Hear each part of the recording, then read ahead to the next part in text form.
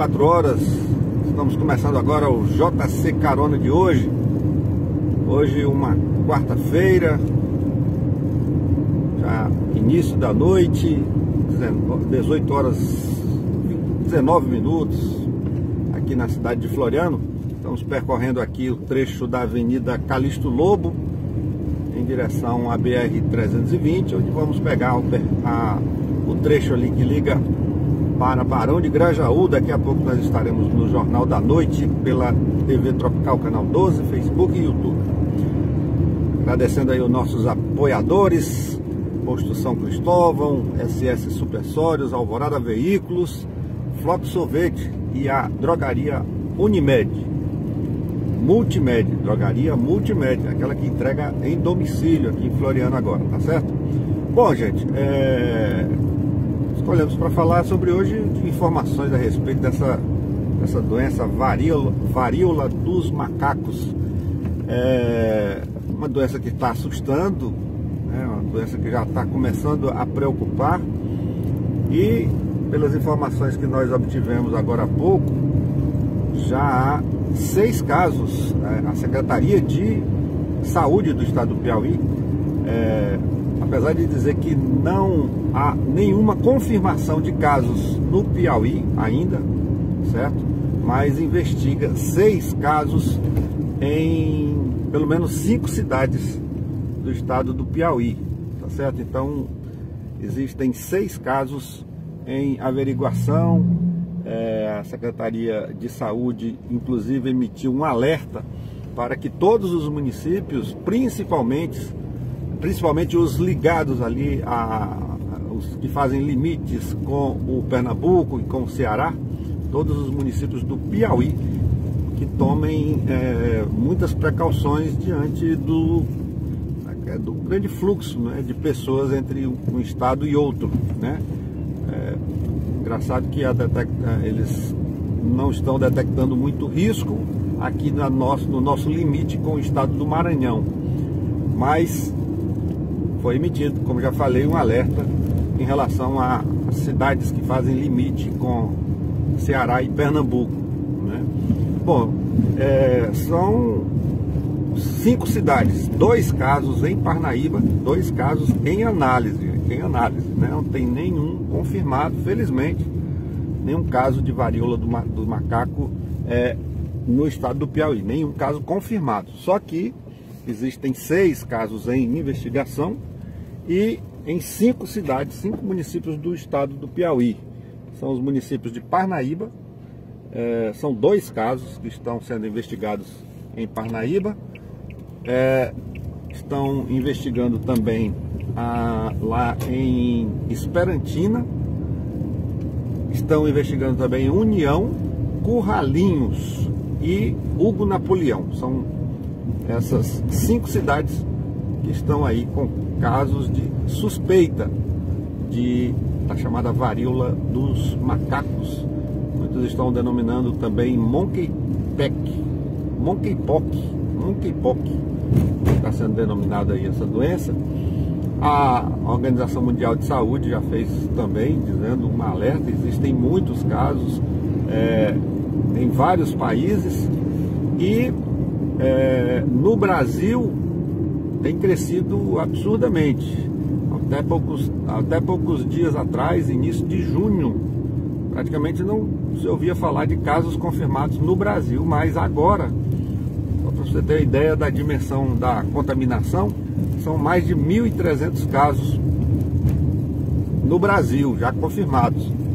Então, fica essa preocupação. A gente obteve inclusive a informação de que já houve um óbito, não aqui no Brasil, mas um óbito, é, não, acho que na Indonésia, que, não sei, é, é, a informação é que não é aqui, aqui na, na América Latina. Mas é preocupante, é mais, um, mais uma doença, né? E é, chamo também até de zoonose, né? Porque é transmissão de animal para animal. E é, as pessoas podem ser infectadas através da saliva, né, das gotículas de saliva, ou também, ou então pelo contato direto com a pessoa que já está infectada. Então, são informações que preocupam, né? São dados que preocupam porque há um crescimento muito grande dessa preocupação no mundo todo.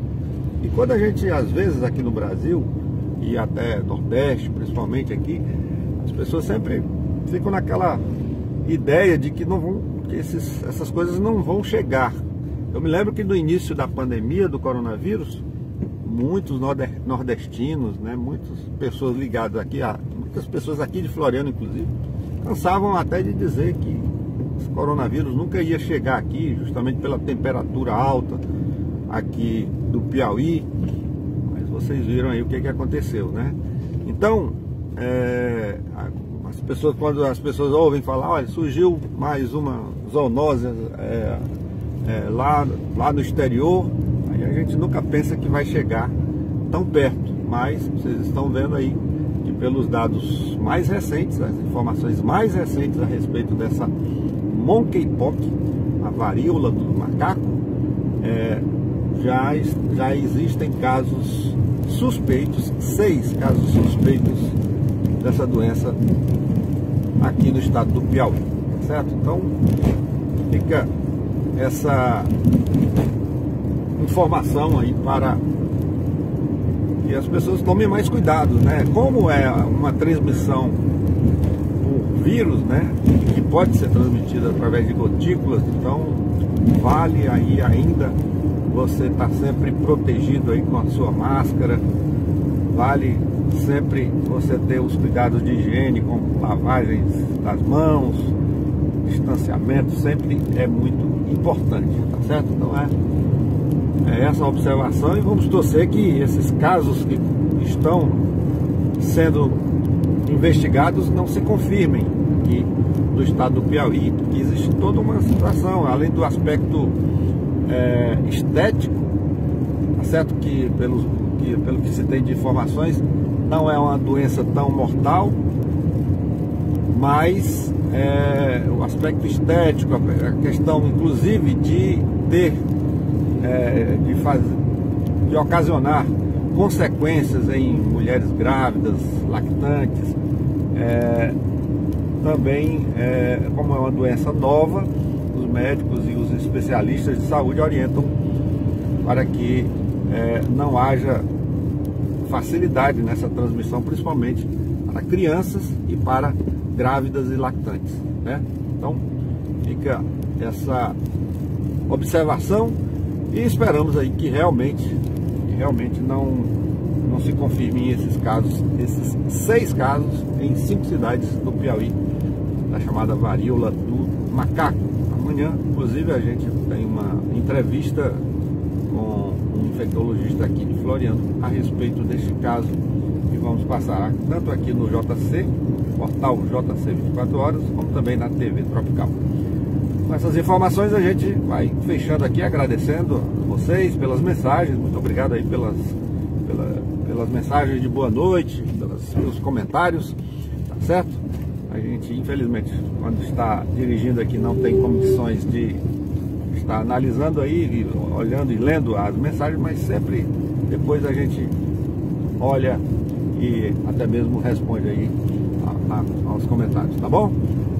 Já estamos chegando aqui em Barão de Grajaú, na, aqui já próximo ao Hospital Bajonas Lobão. Vocês viram aí a movimentação nesse, nesse momento aqui. Carros, motos, né? É assim que a gente vai fazendo essa nova forma de comunicação. Grande abraço a todos. Ótima noite de quarta-feira. Amanhã, se Deus quiser, estaremos de volta. Graças quiser, né? Graças a Deus a gente pede sempre proteção e paz para todos nós, tá certo? Obrigado a todos vocês, obrigado também aos nossos anunciantes, SS Super Sólidos, é, Posto São Cristóvão, Alvorada Veículos, Flox Sorvete e também a Drogaria Multimed. Muito obrigado, muito boa noite e até amanhã. JC 24 horas, 24 horas com você.